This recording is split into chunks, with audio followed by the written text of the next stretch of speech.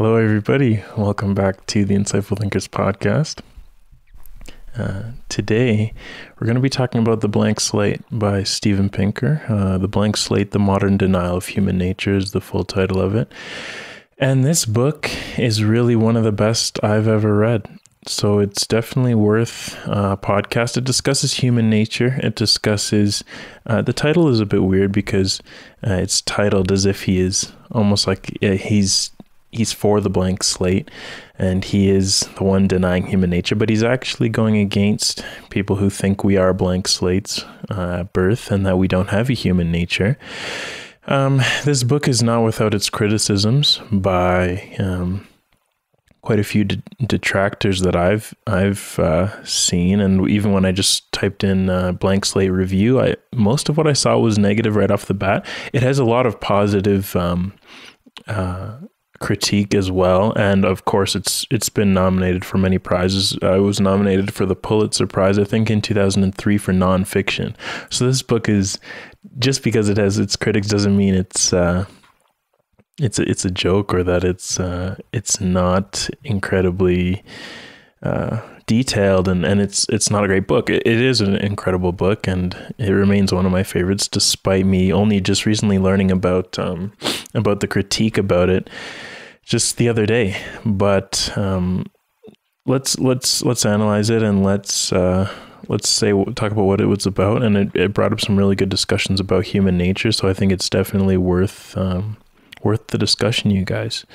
Um, so what it what it kind of starts off with is um, it, it it talks about some dominant views of human nature that are around today. So one of those being these being uh, the Judeo-Christian theory, the blank slate, which is empiricism, the noble savage, which is romanticism, uh, the Ghost and Machine, which is dualism. So these are some of the notable theories that um, have been proposed of human nature, and most of these are kind of tied together in a way. So the Judeo Christian theory is that the mind exists separately to the body and remains after death. So uh, in this this mind that we have that exists separately to the body, it has a moral sense and it's free, but it does have a tendency towards sin.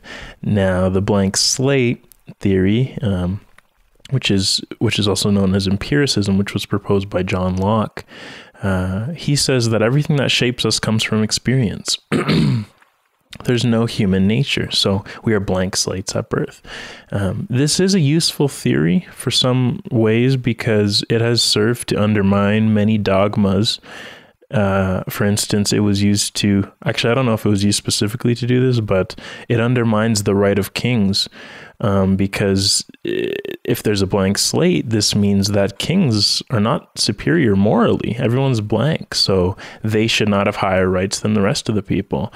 Um, it also undermines slavery, which is which is great because if everyone's a blank slate, then no one's inferior to anybody else. Slaves are not inferior uh, to to others in any way. So this is it is useful. Although Pinker later goes on to, of course, say why uh, the blank slate is not true because we have so many lines of evidence showing that it's not true. Um, it is a useful theory. Next, we go to the noble savage theory, uh, also known as Romanticism, which was put forth by Jean-Jacques Rousseau. He says, uh, We are naturally peaceable. We have no ignoble instincts. Uh, so there's no need for a Leviathan, which which um, was put forth by Hobbes. The Leviathan. The Leviathan is like a domineering, overarching uh, force that keeps, uh, or like a government, for instance, that keeps people in check. So this was put forth by Hobbes, but and Hobbes was a little bit before Rousseau's time, I believe, and um, and Rousseau goes against this, and he says no, we're naturally peaceable. We're, we're noble people naturally. We don't need a, a governing body to, to reign over us. Uh, any savage savagery that we show has arrived um, purely due to corruption by society. Um, so social factors like a leviathan then actually could have negative effects, or or they do have negative effects on our naturally peaceable selves. That's what um, Rousseau says. So again, it's these are kind of theories that um, Pinker eventually, uh, I guess you could say, denounces through through a lot of evidence that we that we have, and um, uh, yeah, so they're, all kind of tied into one another. They it's it's different views on human nature. People have had very different views over the years. The next one is the ghost in the machine, also known as dualism. Um, this is by Rene Descartes. So he says that the mind uh, is separate from our biology. So it's separate from our brain and body. We're more than just an organism being controlled by a brain. Instead, we have a capacity for morality and love, and this exists independently of the brain. Um, almost kind of similar to the Judeo-Christian theory because it's like the mind is totally separate from from our brain. The the mind does not come from the brain. And again, uh, later in the book, Pinker talks about how no neuroscience shows that this is not true. Actually, the mind does come from the brain based on all evidence that we have. Um, but these are just some of the theories, and the final one that Pinker introduces is black box behaviorism. Now, the the first i guess you could say the first and the one of the most important behaviorists behaviorists excuse me is john b. Watson. Um, he has the quote okay behaviorists what did they think? So behaviorists thought that um, or i guess the original behaviorists which is now known as radical behaviorism they believed that the mind is essentially like a black box. So we don't know the inner workings of the mind. We don't know the inputs and the outputs. All we can really study is observable behavior. So all all behavior, uh, maybe it just comes from uh, reinforcements. If, if you are reinforced positively for doing something, you're going to be more likely to do that in the future. And if you're negatively re- reinforced or punished for doing something, you're going to be less likely to do that in the future. So all of our behaviors maybe come from environmental influence. So that, I guess that gives a little bit of context to Watson, the one of the um, eminent behaviorists uh, and one of the first uh, he says, Give me a, a dozen healthy infants, well formed, and I'll guarantee to take any one at random and train him to become any type of specialist I might select doctor, lawyer, artist, merchant, chief, and yes, even beggarman and thief, regardless of his talents, pensions, tendencies, abilities, vocations, and race of his ancestors. So, this is kind of um, very close, you can see, to that blank slate theory of um, as long as you just give me a healthy infant, I, I could turn them into anything. If you give uh, him time to, and if you give me time to train him, I can make him specialize in anything from a doctor to a thief, uh, from a beggar to a lawyer. So this is this is kind of getting at that that blank slate idea that people had been kind of putting forth originally and initially in psychology a little bit. Um, and Watson is a prime example of that. Now, there, I did actually uh, happen to read in the while I was reading some of the reviews for this book that this quote which is such a famous one in psychology. And it's one of the first things you learn when you're in intro psychology, uh, this quote and how the behaviorists thought. But it's actually a little bit out of context, I learned. So one of the one of the um, detractors of Pinker's uh, the blank slate book, he actually mentions that Watson after this says something to do with um, I know this is an over exaggeration, but people on the other side have been over exaggerating as well, or something something to that extent. So this quote actually is a little bit out of context, but either way, that in, in psychology, that's kind of what we um, like to think of the hardcore behaviors. It's you're a blank slate, the mind is a black box. Um, we you can shape kids into anything okay? Um, so watson is basically saying that psychology should focus on observable events um, namely stimuli and responses rather than unobservable mental events in the brain that we don't know we don't know what those mental events are so why study those things? Um, now the original behaviorists say we may be more than a blank slate, but we should focus our scientific efforts towards observable behavior more than anything. And because the mind is a black box, um, we don't know what goes in and out of it. Um, uh, so why why should we worry about about these inputs and outputs? Just let's just focus on observable behavior and worry about kind of reinforcement schedules and how environmental influences can shape behavior. Don't worry about how uh, neural influences can shape behavior. The type of um, what kind of neural pathways are active when you behave in this way and he they just said forget about it let's just worry about observable behavior which was very influential in psychology and still is today um, but uh, th- these theories were a little bit too far according to pinker and according to many that too far in, in the sense that um, they're too close to the blank slate. In reality, we have this human nature that uh, we'll get to in a second that Pinker talks about. So, Pinker also talks about how once he kind of uh, gets through those theories um, and who's who's what the theories of human nature have been, the blank slate, the Judeo-Christian theory, and all these things, he starts to talk about how uh, how the blank slate plays out in today's world. So one way he, he says this plays out, um, he actually was going against very specific writers, but more than anything, he says um, the blank slate even plays out in, in a little bit of radical feminism we see. And some of the radical feminists who believe that the only difference between men and women is their genitalia. Um, otherwise, we're all just the same blank slate anyway. That's what some people, some radical feminists, um, seem seem to think. And Pinker kind of goes against this.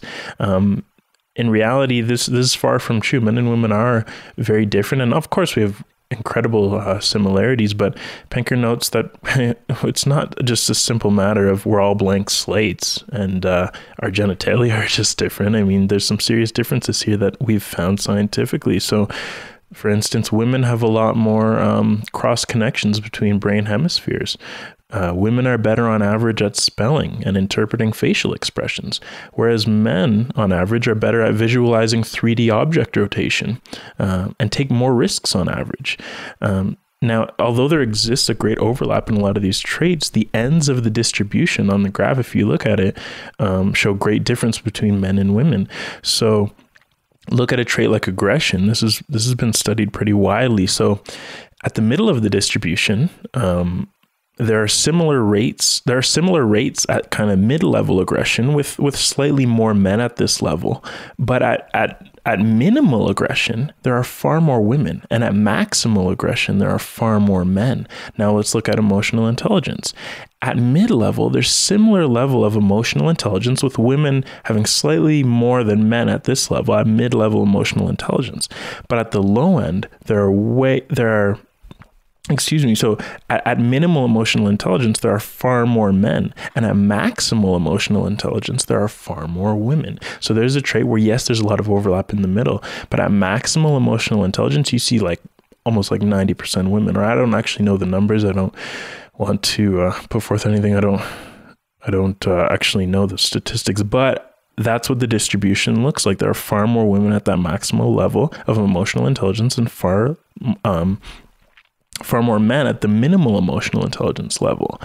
Now look at a trait like agreeableness, another uh, another big trait. So there are similar rates of agreeableness at the mid level, with slightly more women at this level of a medium agreeableness. But if you go to minimum agreeableness, there are way more men there, and if you go to maximum agreeableness, there are way more more women at that end of the distribution. So these are traits where yes, we see overlap, but clearly there's some there's some kind of difference between men and women and it's it's it's more than just um more than just genitalia or just chromosome one chromosome difference. It's these things play out in real life. So pinker kind of says that um, now, there could perhaps be a benefit if we acknowledge these differences rather than just looking at both sexes like a blank slate. Because then, if we can if we can acknowledge that there are differences, then we can take the necessary steps towards equalizing the playing field in sectors where women, or even where men, may be at a disadvantage. Um, you know, if we look at everyone like a blank slate and then we see that, wait a minute, why aren't there as many women in this field or why aren't there as many men in this field? What's wrong? Are we raising them incorrectly? What's going on? Maybe not. Maybe like women and men actually make some different choices here and um, it's it's something that if we I can understand the difference, then we can. Pinker said we can go forth to to uh, reduce this this disparity between men and women in different fields, and we can actually understand why there's a disparity there.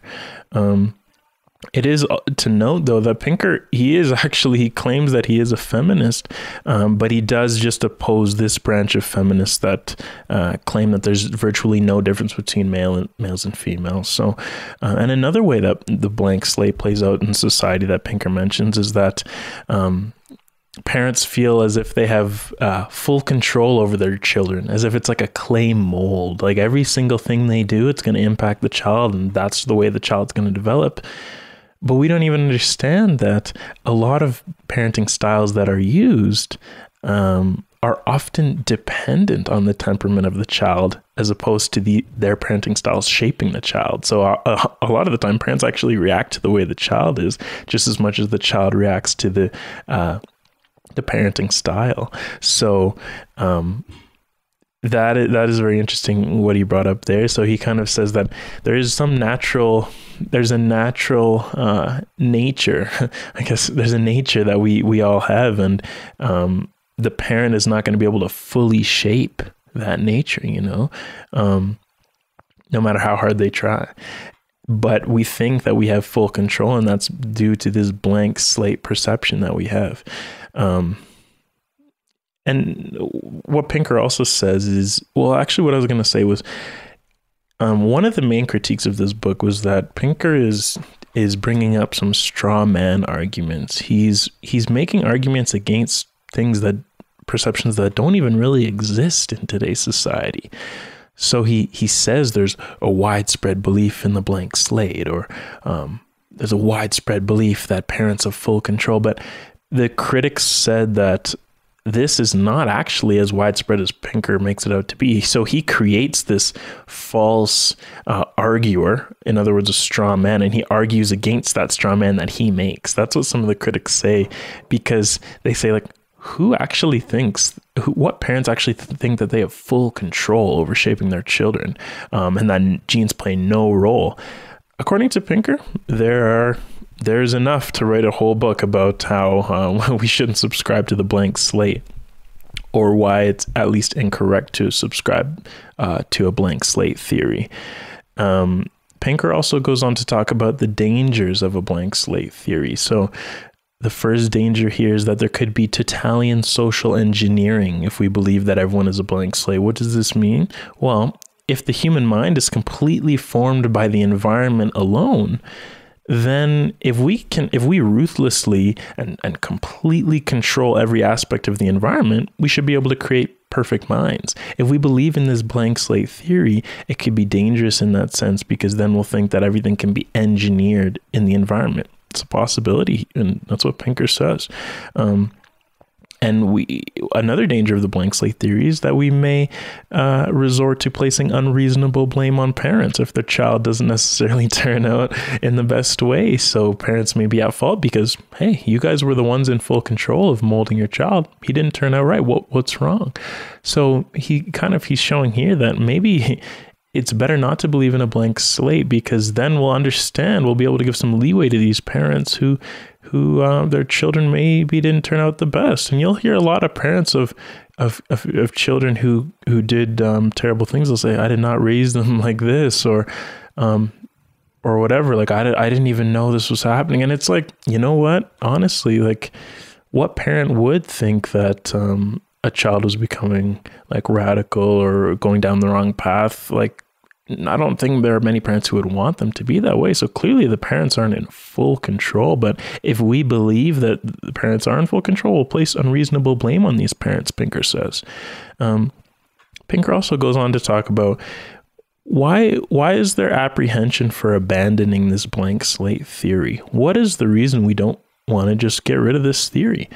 The first reason is the fear of inequality. If the mind has any innate organization, people would people say, different races or sexes are inherently different then, right? Leading to discrimination or oppression. So that's what people people say. If if if we abandon the blank slate theory, then oh no, now races and sexes are inherently different. Now there's going to be discrimination and oppression.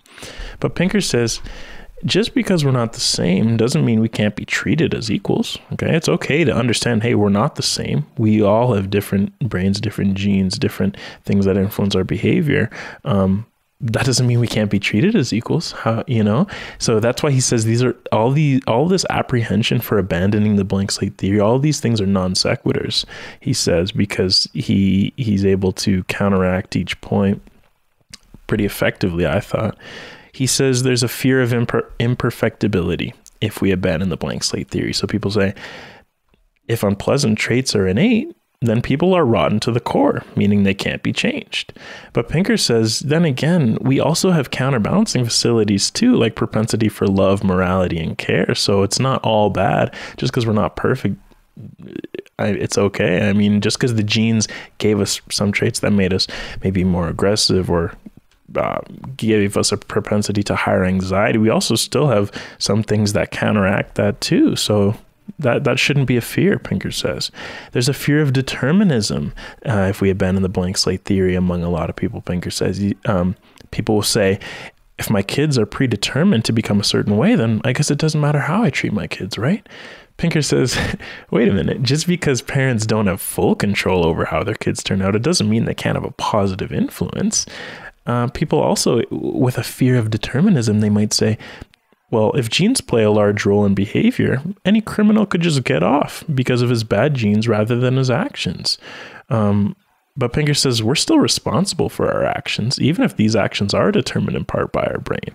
Um, so there shouldn't really be a fear, even if um, some things are determinism means that kind of um, there's no there's no environmental control over what you're going to become. It's predetermined by your genes in your brain. And Pinker says, uh, you know what? It, it, even if part of the way we are going to become is determined by our genes in our brain, that's okay. We still, it doesn't mean it's going to be, our life is going to be totally predetermined. And there, there need, there need not be any fear of determinism there.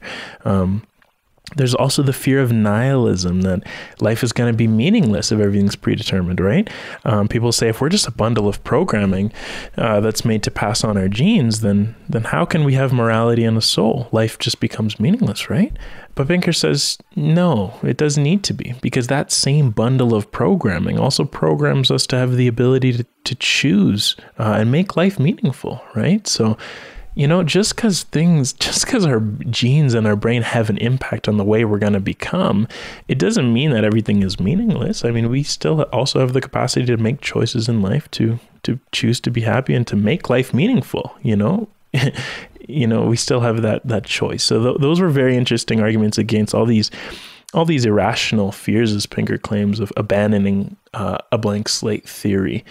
Um, now, he, he also, after that, he goes into how evidence of why the blank slate right now cannot be true. Um, we have evidence from a lot of different um, fields that the blank slate is not true. We're born with some kind of innate structure and innate nature. And Pinker kind of does a really good job in saying all the fields and summing them up and saying, I thought he did a great job of, of how. Um, of how these different fields kind of coalesce to show we're no, we're no blank slate. Look at cognitive science that has has done a lot of research on language. Um, now, with language, we need an inclination to learn and understand words we hear, or else we'll just be like a blank tape that records information. There needs to be some underlying system to be able to learn, understand, and apply language related information. So, obviously, if we were a blank slate, how could we learn and and and spit back out and understand language and all the intricacies there? It, it, we need some kind of programming that allows us to even be receptive to that in the first place uh, before we can before we can learn that language. Or else we're just like a tape recorder that i'm recording on right now and i'm checking the time when they're recording. Um, we're not going to be able to understand anything. We're just going to be able to record it. And and uh, that's that doesn't go so well for a blank slate theory. The fact that we have language is what Pinker says. You look at the field of genetics, even the merely the discovery of well, not merely, but the discovery of the gene by Gregor Mendel. Uh, the gene is a heritable sequence of DNA that codes for proteins. Proteins are the building blocks for life itself genes are passed on. That's what it means to be heritable. They're passed on from generations. You can inherit a gene from from your parent and your and hence your parents' parents, which are your grandparents, and and and so forth. That's how the genes get passed down. Literally, it was first discovered in peas how different genes and different alleles, which are different forms of different genes, get passed down. Um, across the generations. If things are getting passed down to me from my two parents and then from my grandparents, then how am I a blank slate if stuff already was passed down to me? So it was a very simple argument to show, hey, we're not a blank slate. Um, the discoveries, kind of as I was mentioning, that many traits are her- heritable, at least in part. These traits go from violence and aggression to intelligence and agreeableness. So we've we've discovered uh, through genetic research that a lot of traits are heritable, which means that um, this trait, well, the trait is heritable. Like a trait like intelligence, for instance, is heritable. So it's correlated to the intelligence of your parents. It's not fully due to the intelligence of your parents, but there's a correlation there. Just like there's a correlation between the aggression, uh, the genes of aggression that maybe your father and mother has, and that gets passed down to you. So there's a correlation there. Now, it doesn't mean that just because you have an aggressive father, you're going to be aggressive, but there's a small correlation often that plays out there. So a lot of these traits, clearly something's getting passed down. Um, and this this really goes against the noble savage as well, the noble savage theory, because even rash traits like aggression uh, are heritable to some extent. So clearly, we're not pure at birth, and then we get corrupted by society.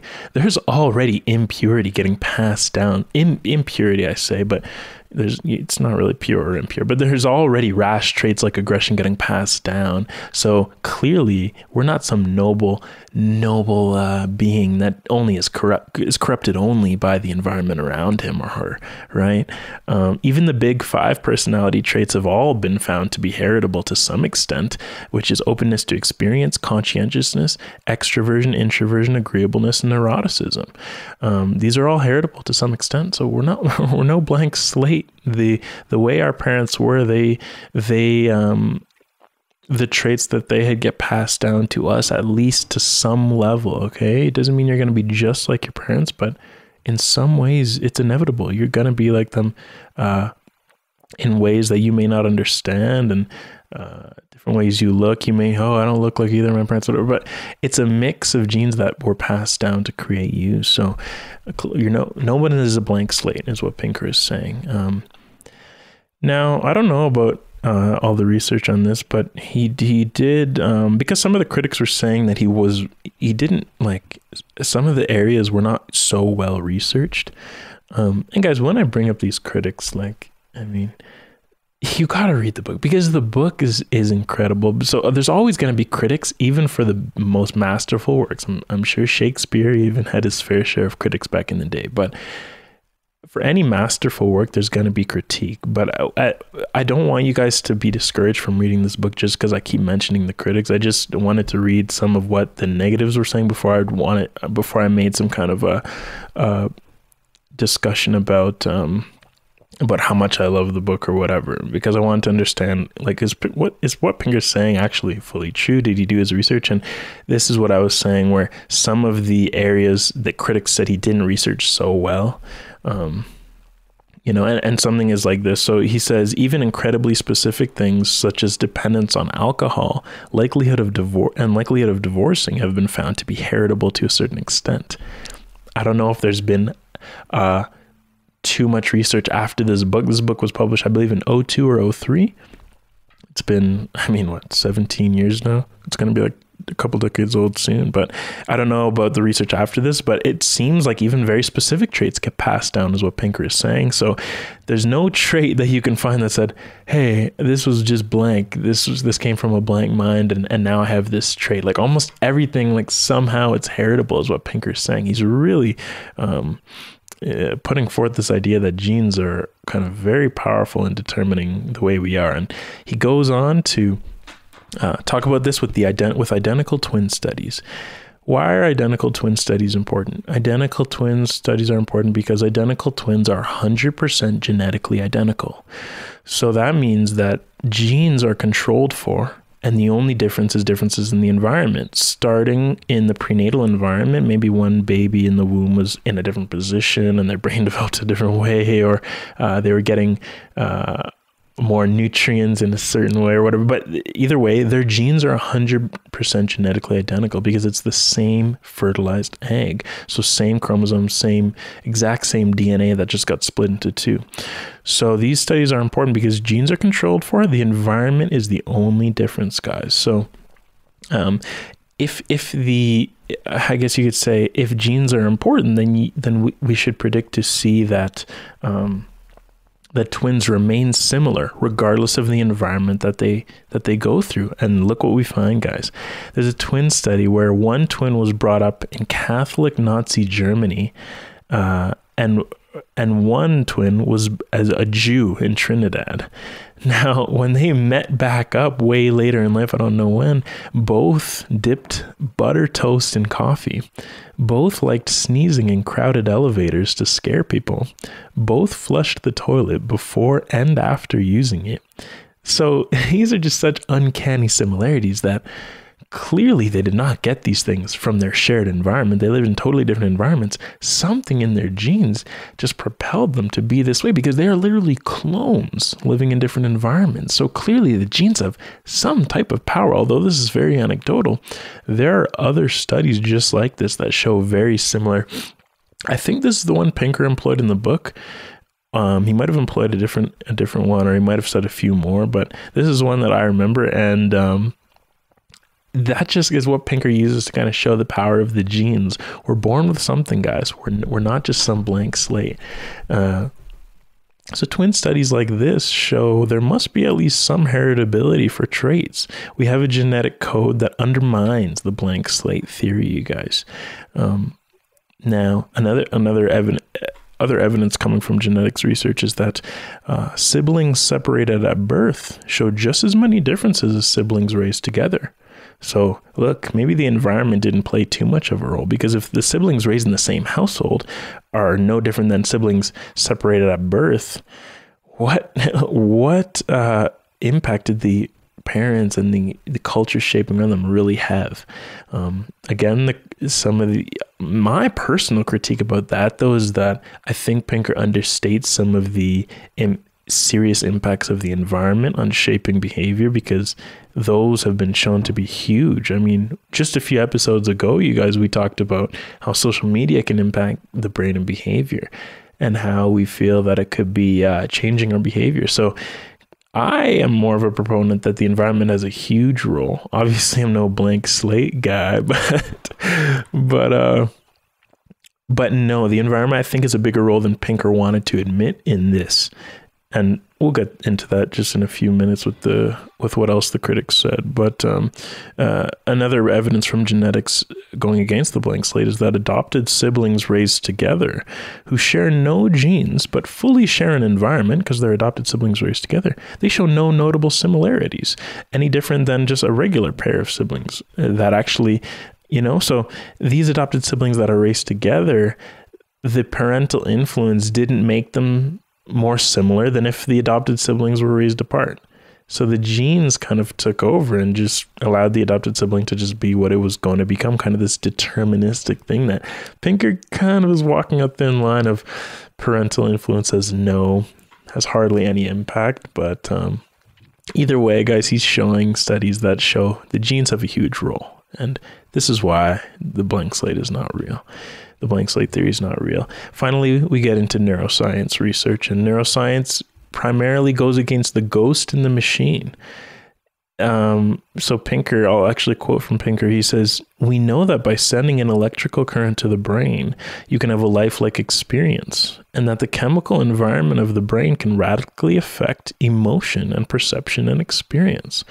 Um, so clearly, in changing the brain is changing our mind. So, how in the world could it be a mind free of the brain? When the brain is damaged, or we have a concussion, or uh, you have CTE, you see the behaviors that I was actually just like watching some of the football players um, who have done some some pretty questionable things or whatever, and then after their death, I guess I should say more than questionable because it's not something to be taken lightly. Because a lot of these people uh, with CTE have committed suicide and have killed people and done some very egregious things, and they've been shown to have CTE. Basically, I'm saying all this to say that when your brain is altered, um, you are going to behave in a different way. So, how in the world could the mind be independent of a damaged brain? You're, the ghost in the machine would predict that even with a damaged brain, um, you should be able to behave just fine, right? Because your mind is separate from your brain. But no, that's not true at all. And research, neuroscience research, research has showed that. Take any drugs that you take or alcohol. I mean, when you take that, we see that that's impacting the brain, and then that's impacting the way you think and your behavior. Um, it's changing it for better or for worse depending what drugs you're taking guys it's it's happening in the brain and that's changing your consciousness so there's a link there well more than a link it's a it's it's a purely um, it's like a, it's a complete causality. It's not even correlated. It's the mind comes from the brain. I realize there are some opponents of this theory still. So maybe it isn't such a straw man that Pinker is bringing up because um, in some of the discussion I was having about my consciousness post, where I was kind of having I was putting forth kind of like a causal link between brain activity and consciousness.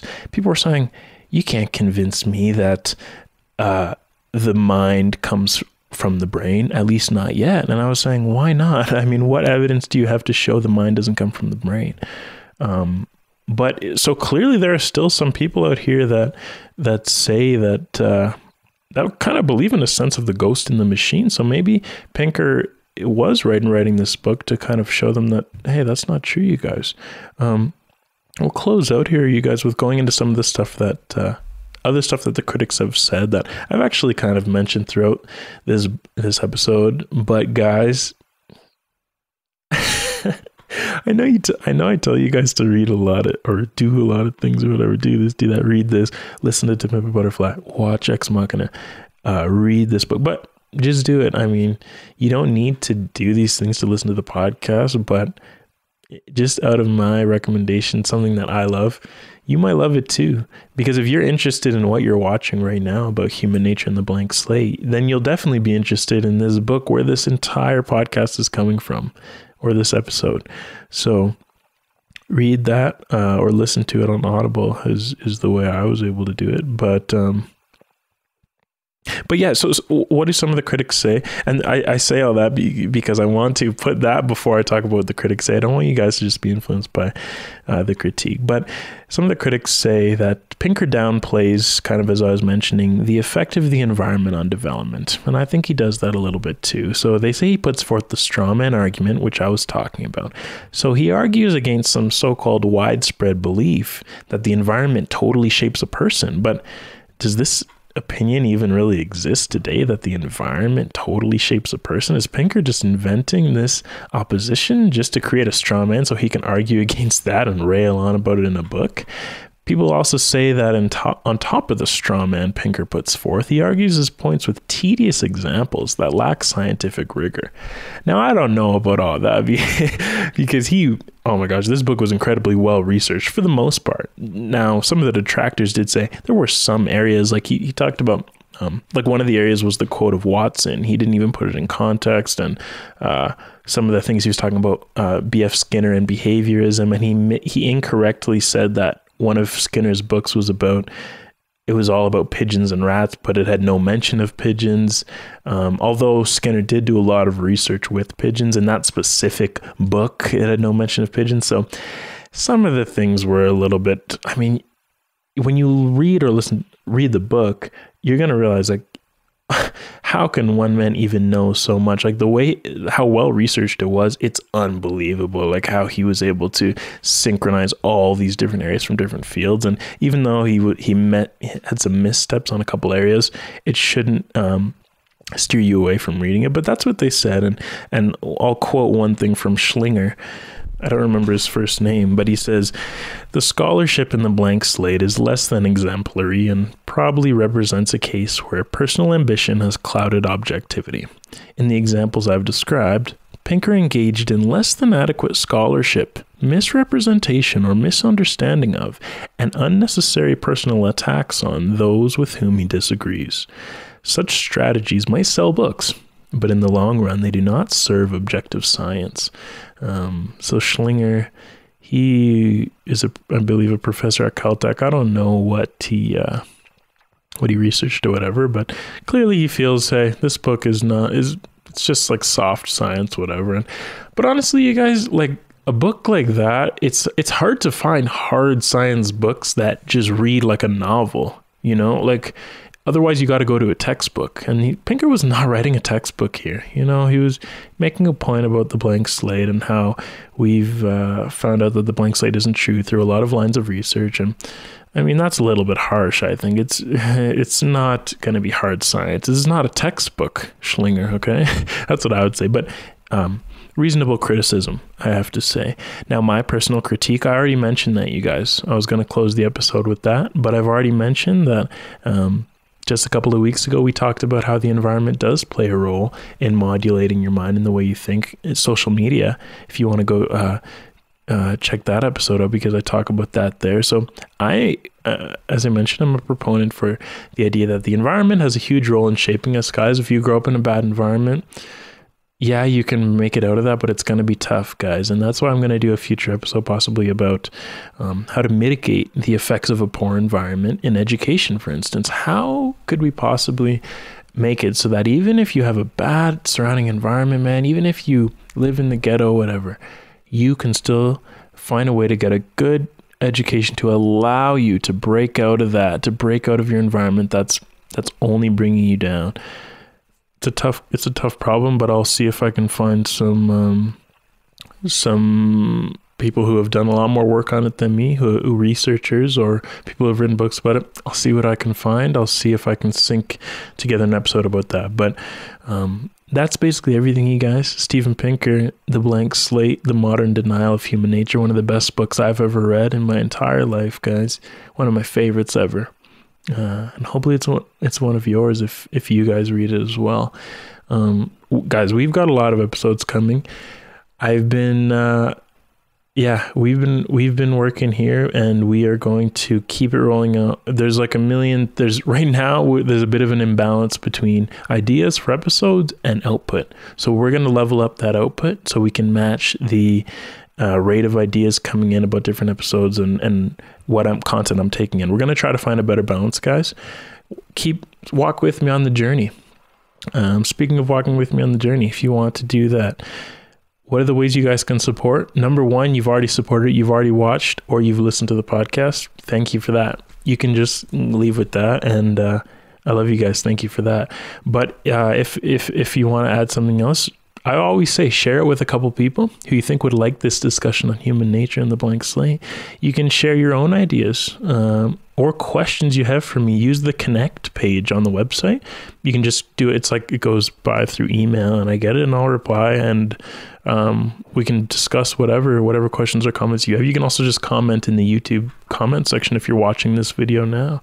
If you're on Apple Podcasts, you can rate it, you can review it, you can do whatever you like. If you're on YouTube, go ahead and subscribe if you like. Uh, I think this is the sixth episode. Um, it's the sixth of, of many, but um, if you like kind of what you're seeing with the in depth analysis idea, that's what we're going to keep going with. So if you like in depth analysis, then subscribe to that um, or subscribe on whatever podcast platform you're listening on.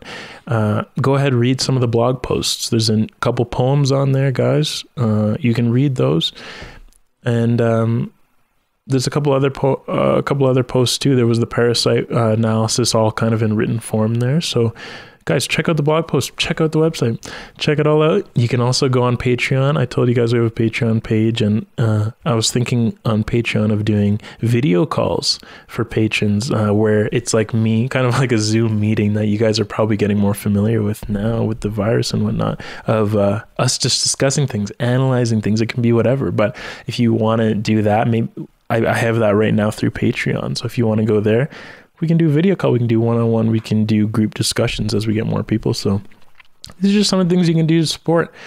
Guys, I'm loving this so far. I say it every time, but I really am. We're gonna turn up the output, and uh, we're not gonna stop, guys. Um, I'm always looking for some words to close it out, but I think I've summed it all up, you guys in-depth and I never know the title when I'm recording them, so that's why sometimes the title doesn't match. But in-depth analysis, uh, the blank slate, the modern denial of human nature by Steven Pinker. Uh, thank you guys for listening. Thank you guys for watching. We'll be back with the next episode later. See you guys later.